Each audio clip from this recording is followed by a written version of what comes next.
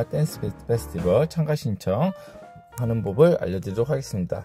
여기에 보면 플레이스토어를 보게 되시면은 그걸 누르시고 난 후에 안으로 들어가게 되면 위에 앱 및 게임 검색 이쪽을 누르셔가지고요. 디마 댄스 페스티벌 이렇게 검색하게 되시면은 위에 상단에 보면 디마 댄스 페스티벌이 이렇게 로고가 되어 있을 겁니다. 이거를 어, 설치가 안 되신 분들은 설치를 누르시고 열기를 누르시면은 이렇게 홈 화면에 디마 댄스 페스티벌이 되겠습니다. 여기서 참가 신청은 아래 보시면은 클럽 대항전 참가 신청, 대회 신청, 매니아, 다음 대회 신청 pro-am, 대회 신청 판타지 쇼 이번에 프로와 프로 프로 모던과 프로 라틴 선수가 함께하는 대회이거든요. 이것도 많은 신청 부탁드리면서 앞으로 많은 분, 더 많은 분들의 참가 신청을 기대하면서 네, 그럼 다음에 또 뵙겠습니다.